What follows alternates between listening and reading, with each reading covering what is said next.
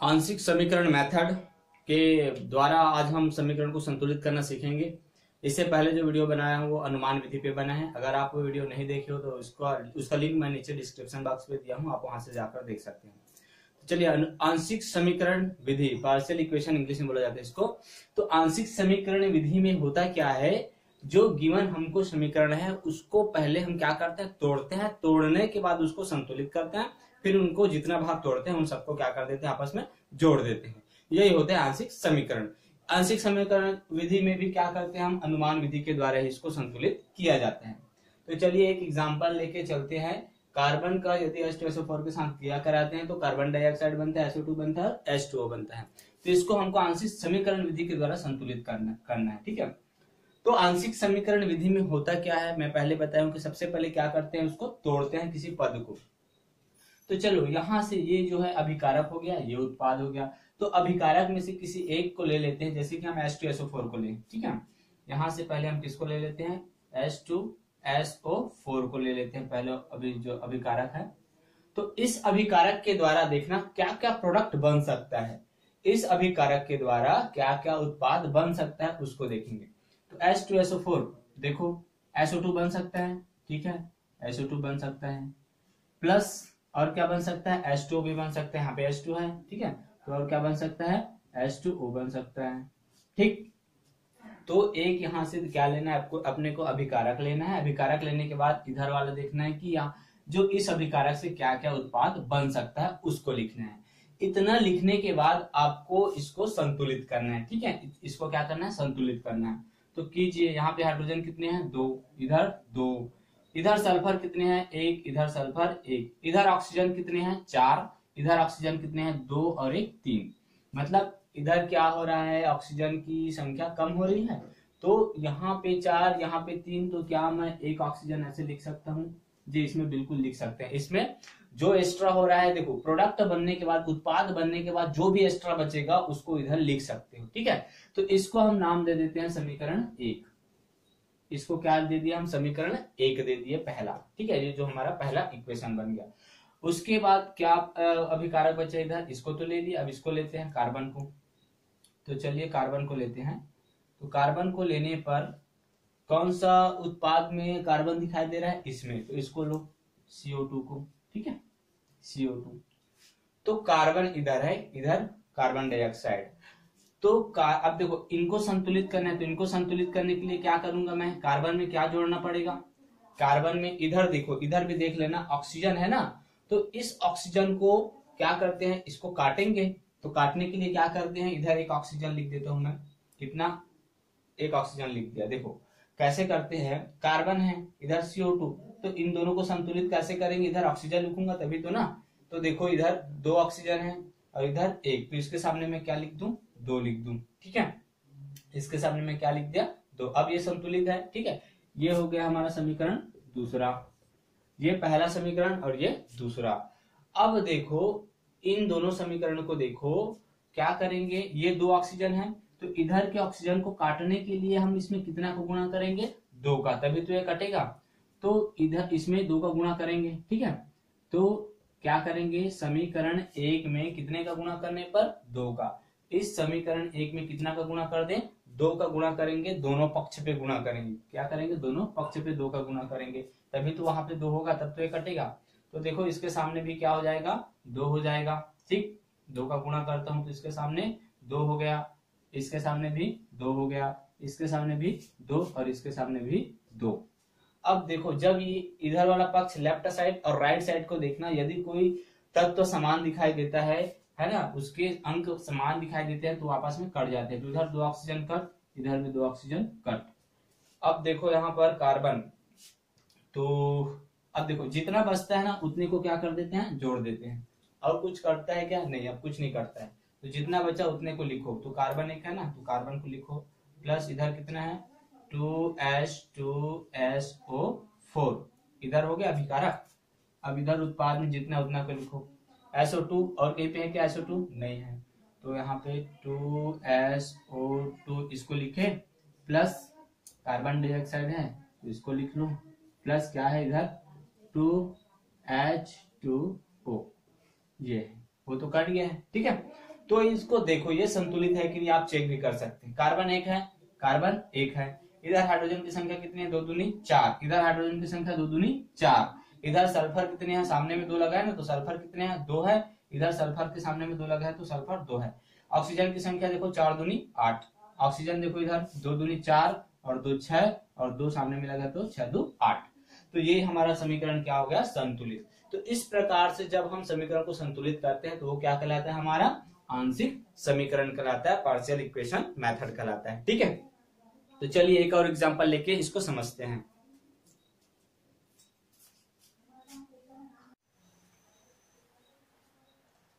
इसके बाद example two देखते हैं। Copper plus S two SO four से क्या बन रहा है? C SO four plus SO two plus S two ये प्रोडक्ट बन रहा है, ठीक है?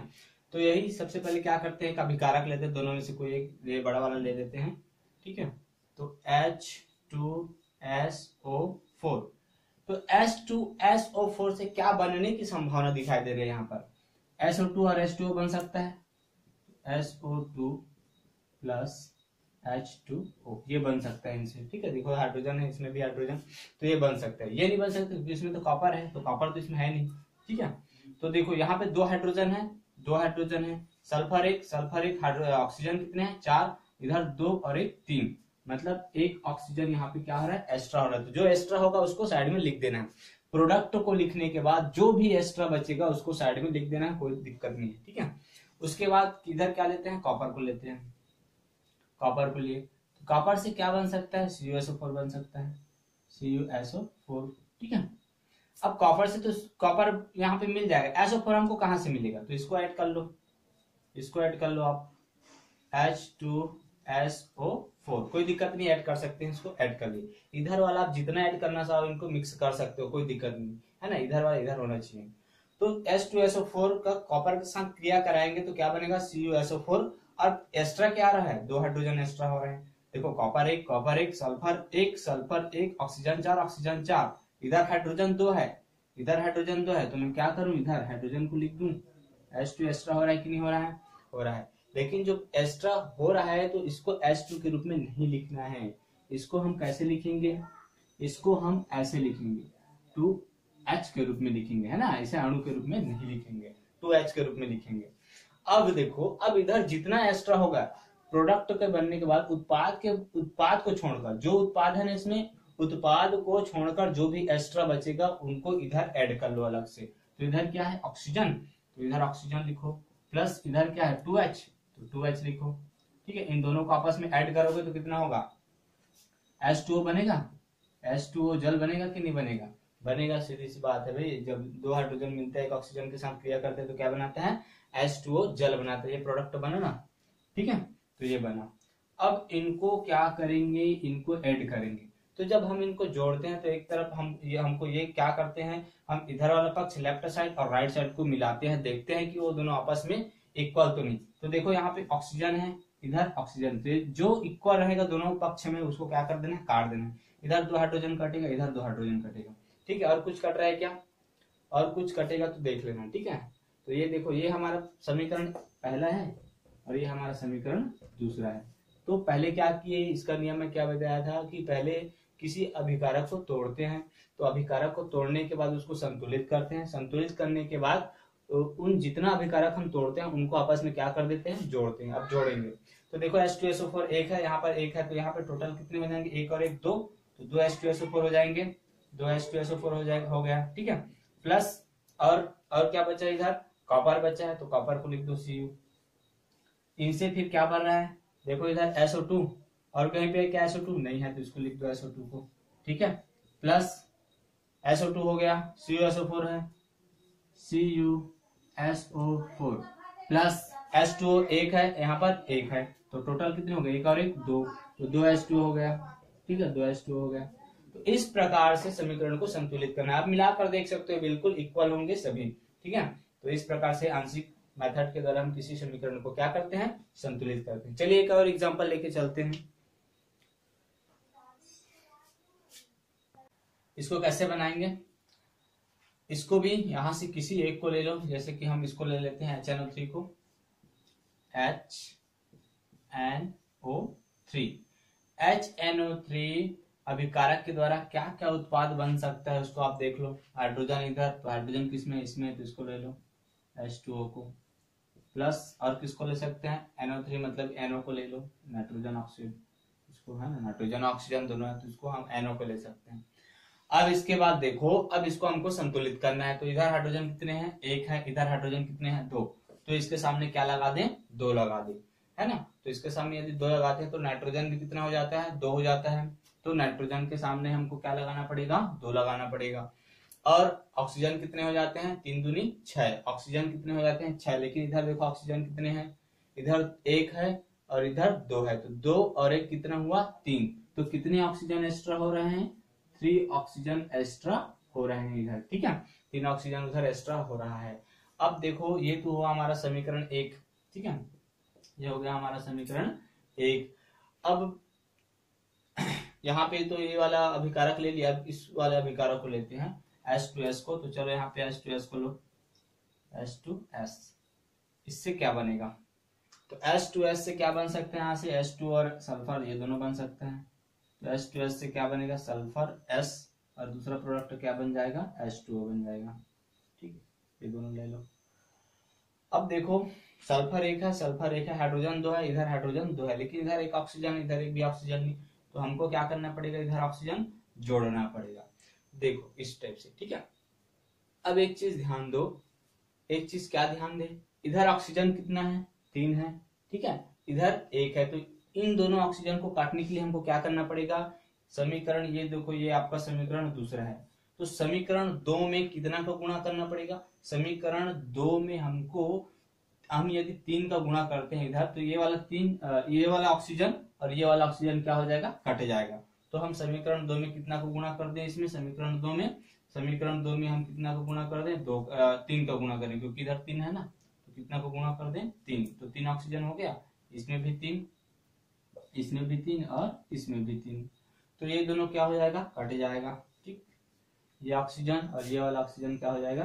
कट जाएगा। तो अब जो बचता है उसको फिर क्या कर देते हैं? जो बचता है उसको क्या करते हैं? जोड़ते हैं। तो देखो इधर कितना बचा है? Two. H N O three plus ये बचा है थ्री एच टू एस ये बचा, ठीक? ये तो कट गया, है ना? ये समीकरण आपका एक है, ये समीकरण दो है, इन दोनों को ही जोड़ते हैं, इससे कोई ताल्लुक आप नहीं। उसके बाद देखो इधर क्या है S two O S two O यहाँ पर है, ठीक है? तो किसी को भी लिख सकते हो तुम तो यहाँ से अगर शुरुआत में एन हो तो इसको पहले लिख लो टू एन ओ इसको पहले लिख लो। प्लस उसके बाद एस टू ओ को लिखो तो यहाँ पे एक और ये तीन तो तीन और एक, चार एस टू ओ हो जाएगा। जल की संख्या चार हो गई। प्लस ये तो कट गई ये क्या बचे यहाँ पे? तीन सल्फ़र बचे हैं। इस प्रकार से समीकरण को क्या करना है? संतुलित करना है। तो देख लो आप, बिल्कुल समीकरण क्या है यहाँ पे? संतुलित है। ठीक? तो चलिए एक आता और एग्ज़ाम्पल लेके चलते हैं। सोडियम हाइड्रोक्साइड का Cl2 के साथ किया हो रहा है तो NaCl plus NaClO3 plus H2O बन रहा है, ठीक है?